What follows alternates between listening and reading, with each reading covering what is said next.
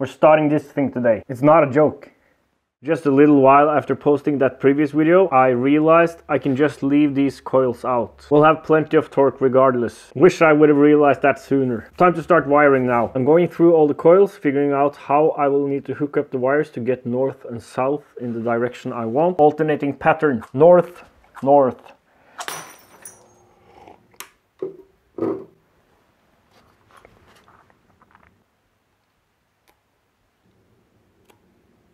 Marking them so now I know that positive connected to this terminal. I have to double check here. This is north. I'll mark that with an arrow up here. I'll do the other side and make sure it's pointing in the same direction. Then go around and do the same thing to all the coils.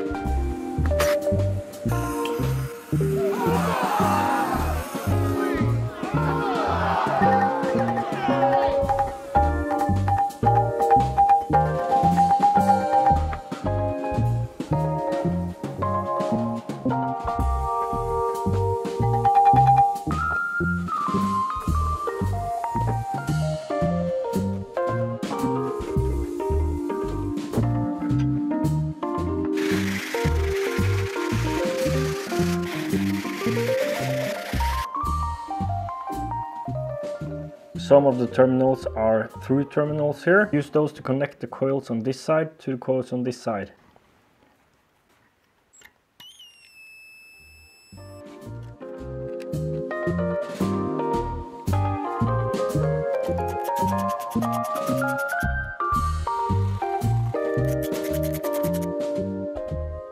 All the coils are wired in series with alternating polarity. Each coil is supposed to be 0.75 ohms and there's 12 of them and I'm reading 9 ohms. So that checks out. Get the rotors back on, hook up the power supply and see if it works. Time to hook it up to the ArDyno power supply and uh, see if it works.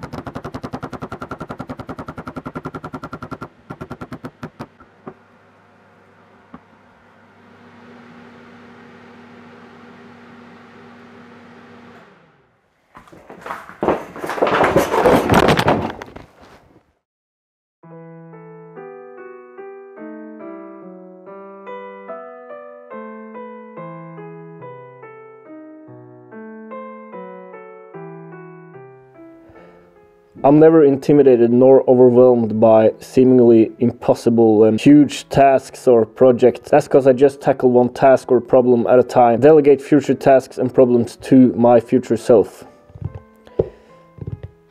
This approach has its drawbacks though. My engines are always designed to be started with a drill, because then I won't have to worry about the starting mechanism. I'm using a drill with this ratcheting mechanism. Can you spot the problem?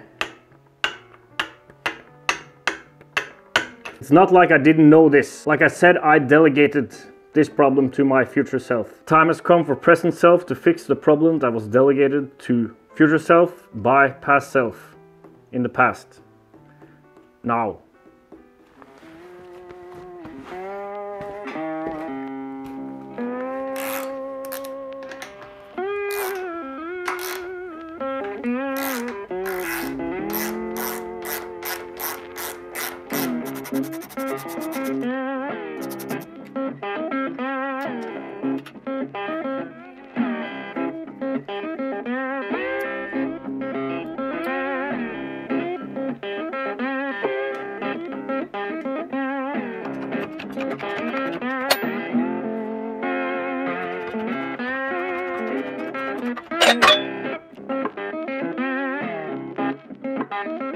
Sitting here editing, I started thinking about things I could do for my patrons. You didn't know I've got a patron?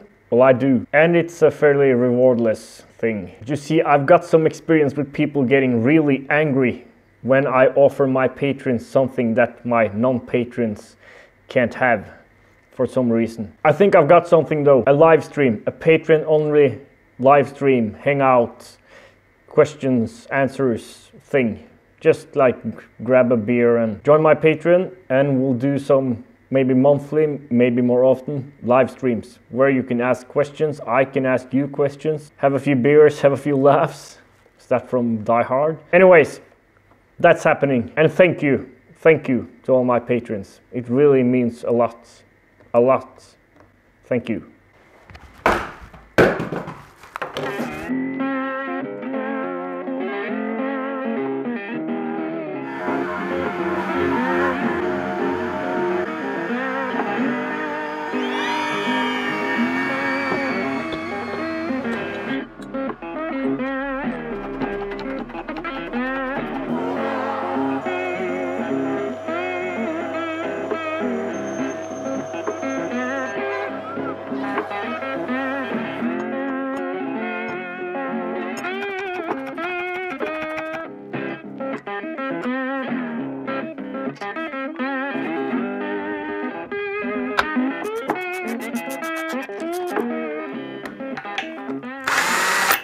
I'll need to get a long 18, but this will work. I made a bracket and hooked up the RPM sensor. Seems to work. Got everything hooked up here now. I'll explain everything later, but now my main priority is to get things running. Just watch the screen here. That's RPM 1. That's brake RPM.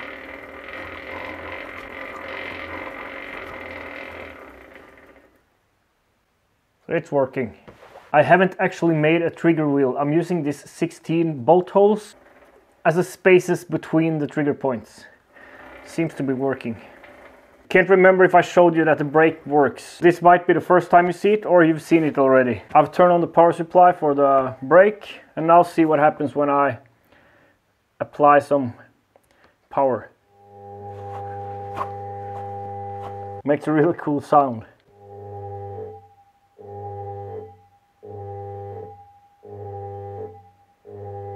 Like when you enter Bowser's castle.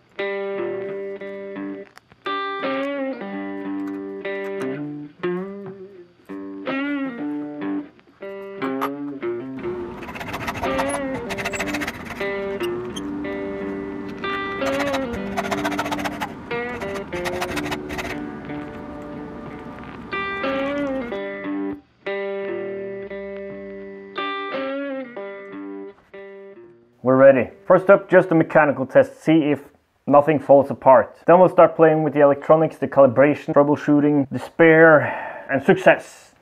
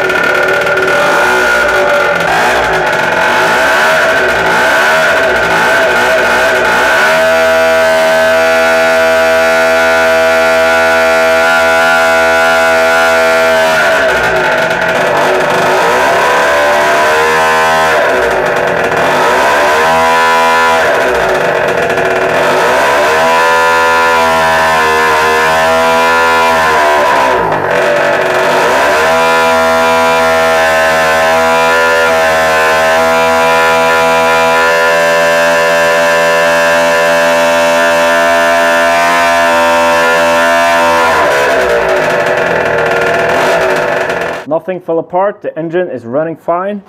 Everything spins freely.